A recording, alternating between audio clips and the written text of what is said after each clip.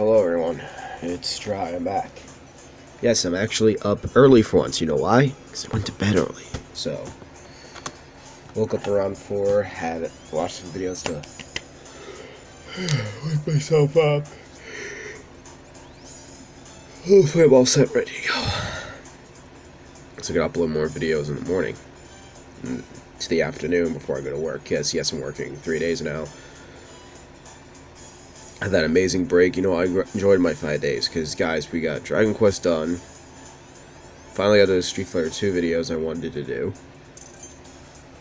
The extra Street Fighter 2 inverted editions that I wanted to get out of the way and be finished, which I'm glad that happened. Um, set myself, trying to set myself up with bonus content. Uh, I haven't heard from Vegister in a while. Uh, Vegister might know where the gray fragments are because I have no clue where the hell they are. So if Vegister could respond, that would be awesome. Because, dude, I have no clue where the gray fragments actually are. I don't remember, and I need help. Uh, I'll, I'll do what you say. It's just gonna take me a while again because I have to find all the fragments. Beat up a certain requirement of enemies that actually need the monster hearts. Need to find out what they are, beat them until I get the monster hearts, which is going to take some time.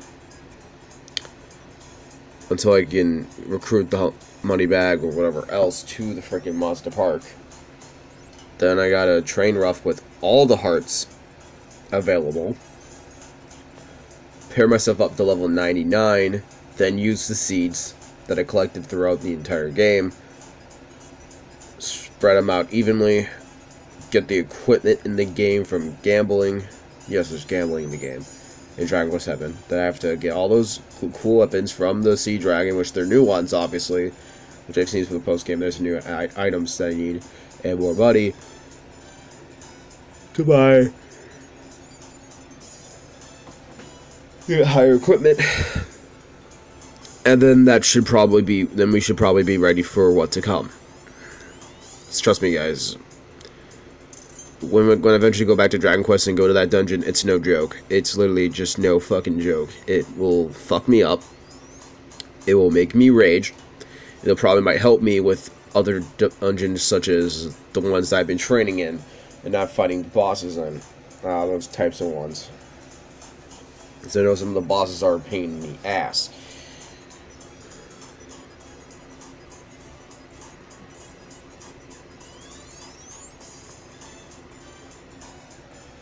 It'd be smart for me to go find some enemies that dropped specific seeds so I can get more seeds out of them so I can get more stat boosts, which might be more helpful.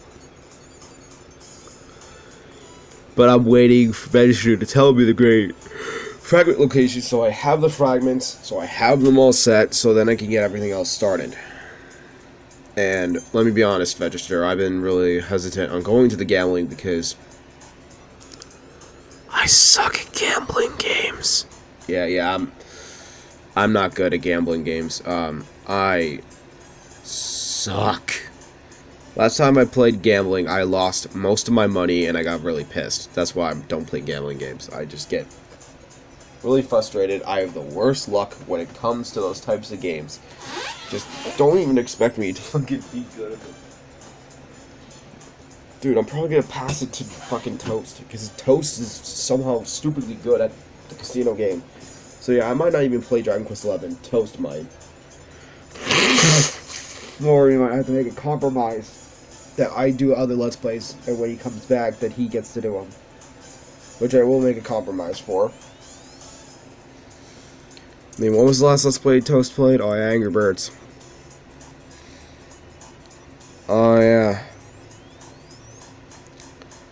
Remember how that turned out. But, but, just understand us, guys. Angry, let's be honest here. Did you want to watch five more maps of Angry Birds alone? I mean, you probably would have wanted to. But,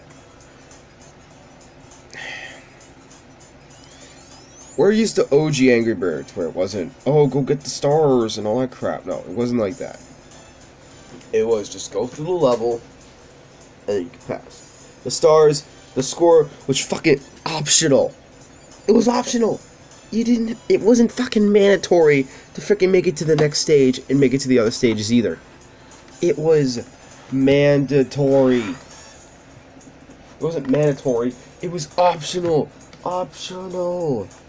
For fuck sake, how did they fuck that up? Why? So they just make more money? They already have? Uh, that's what just pisses me off about buy to model games like this one. This is why I don't buy anything in this game, because I know it's going to suck me in. And make me, like, buy and buy and buy and buy and buy until there's nothing left.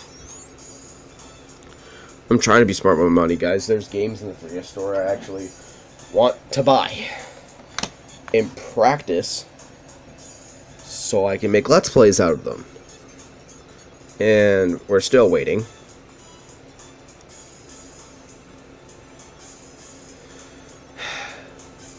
You know what? Just for today, guys, I'll make two videos of just this waiting screen again. Just talking out my mind. I'll see you when the game's actually loaded. Peace.